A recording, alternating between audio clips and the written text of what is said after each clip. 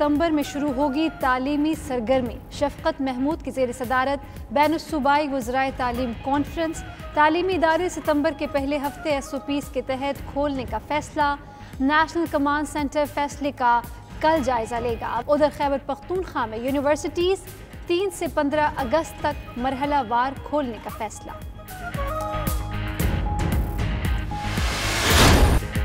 एक सौ बीस नई एहतसाब अदालतें बनाएँ मुकदमा जल्द निपटाएँ। चीफ जस्टिस सुप्रीम कोर्ट का हुक्म। जेर अल्तवा रेफरेंसेस का तीन माह में फैसला करने की भी हिदायत। चीफ जस्टिस गुलजार अहमद ने रिमार्क्स में कहा, नैब के रेफरेंस 20-20 साल से जेर अल्तवा हैं। फैसले क्यों नहीं हो रहे? क्यों ना नैब अदालतें बंद कर दें और नैब कानून को गैर आईनी करार दे दें?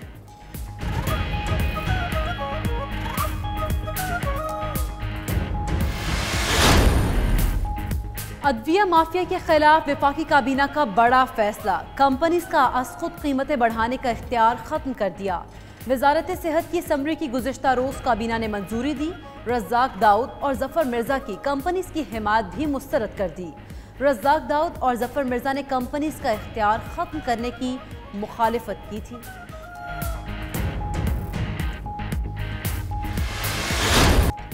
अली जैदी ने गैर दस्तखत शुदा कॉपी दिखाकर इंतहाई गैर जिम्मेदाराना हरकत की। जे आई टी को मुतनाज़ बना रहे हैं। वज़ीर अला सिंध मुराद अली शाह विफाकी वज़ीर पर बरस पड़े। बोले, अली जैदी ने खुद कहा, कोई शख्स आया और चौकीदार को रिपोर्ट देकर चला गया। वो उसे कौमी असम्बली में ले आए। उम्मीद है वज़ीर अजम इस पर कोई गैर जिम्मेदाराना काम नहीं करेंगे, लेकिन यहाँ कुछ भी मुमकिन है।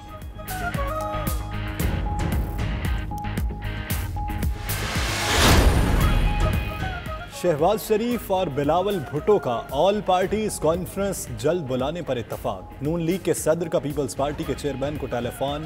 बिलावल भुट्टो ने शहबाज शरीफ की सेहत से मुतलक दरियाफ्त किया। शहबाज शरीफ का आसिफ जरदारी की सेहत के लिए नेक तमन्नाओं का इजहार। बिलावल भुट्टो का कहना है अवाम दुश्मन बजट ने गरीब का जीना मुश्किल कर दिया। हुकूमत नाकाम हो चुकी।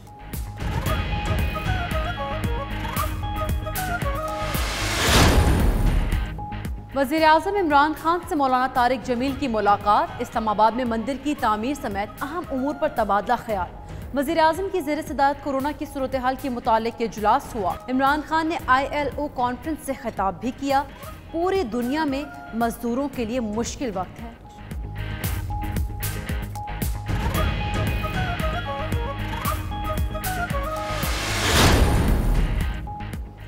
इस्लामाबाद में मंदिर की तामीर का काम रोक दिया गया। नूरुल हक कादरी का कौमी असम्बली में इजहार ख्याल बोले, क्या मंदिर की तामीर सरकारी खजाने से हो सकती है?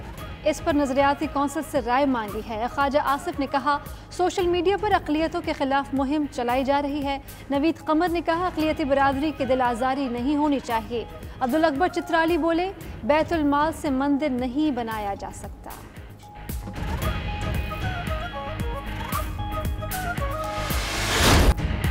कराची के मुख्तलिफ़ इलाकों में वक्फे वक्फे से बारिश, गुलशन इकबाल, गुलिस्तान जौहर, नाजिमाबाद, लियाकताबाद, मलीर और दीगर इलाकों में बादल बरसे।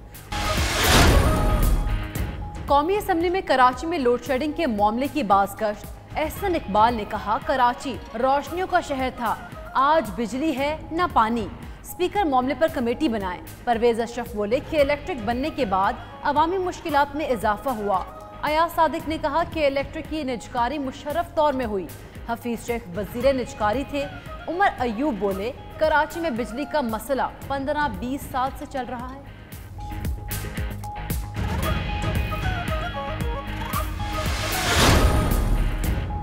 जाली लाइसेंसेस का मामला सिविल एविएशन अथॉरिटी मुतहरिक। पीआईए के चौंतीस पायलट्स को शो कॉज नोटिस जारी।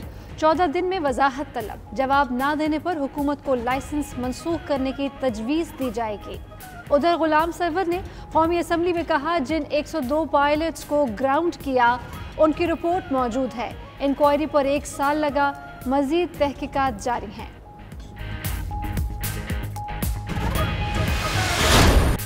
आटे के बाद टमाटर का बहरान, कीमत सुनकर लाल होने लगे कान। होशरुबा इजाफे से शहरी परेशान। चंद रोज कबल 30 रुपए किलो बिकने वाला टमाटर 120 रुपए फ़ी किलो तक जा पहुँचा। बड़ी ईद पर टमाटर की कीमत 200 रुपए किलो तक पहुँचने का खदशा।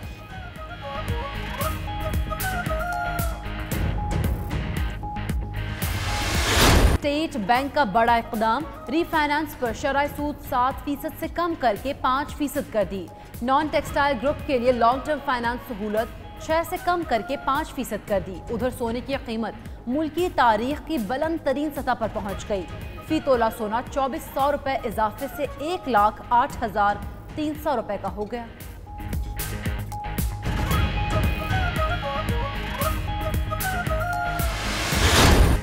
तवील अरसे बाद आई क्रिकेट की बहार, लेकिन बारिश करने लगी छेड़छाड़।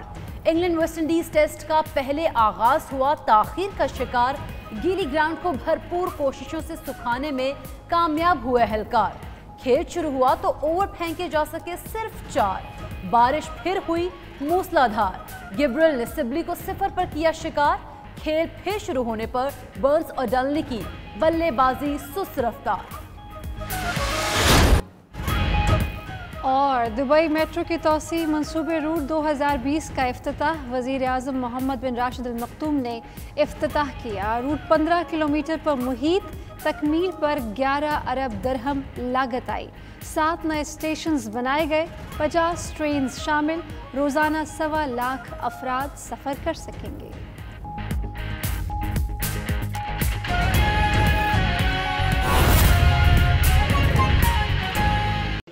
चलते हैं।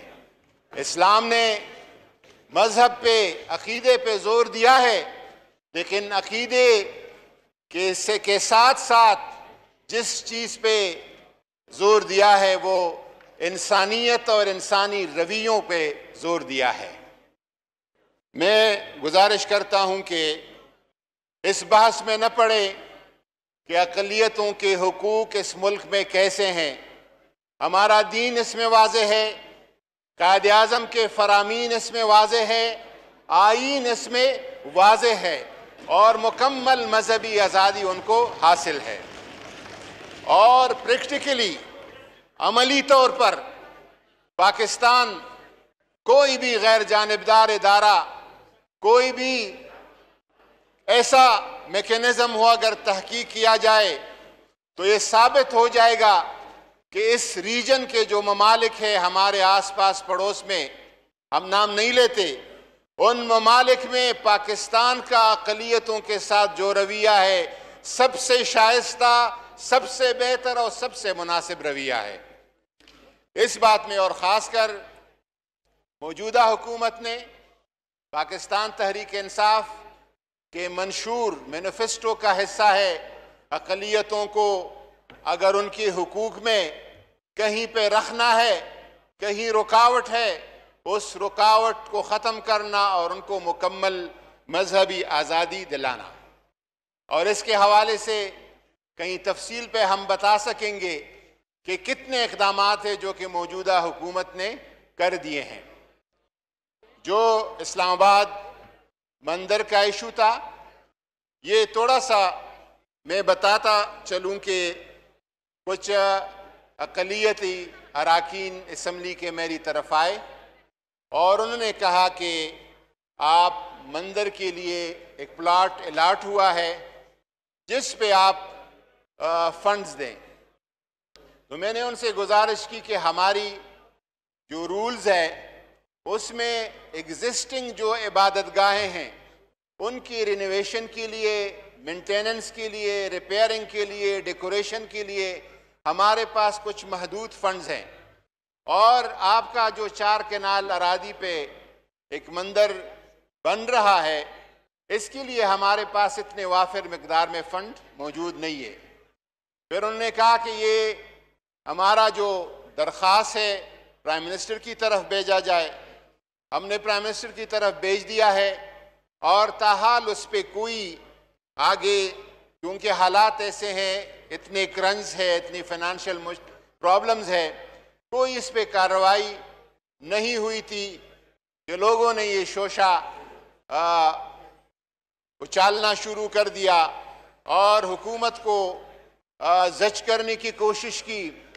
कुछ मजहबी अनासर और कुछ उनके साथ सियासी अनासर भी मिल गए। मैं वाज तौर पर बताऊँ कि जब इस तरह कुछ उलमा के जयद उलमा के बयानात आए। और उस बयानात पे हम सरफ नज़र नहीं कर सकते।